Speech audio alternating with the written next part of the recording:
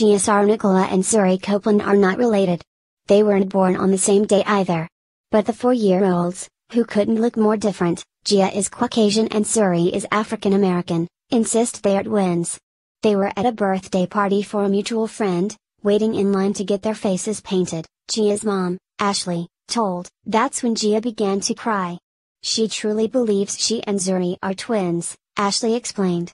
US US US. Jia later set the disbeliever straight, telling her we have the same soul, and the same birthday, they were born two days apart, but celebrated the occasion together.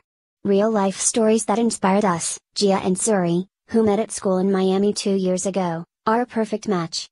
They're both little Geminis, Ashley told, US US US. According to Ashley, the soul sisters don't notice each other's physical differences.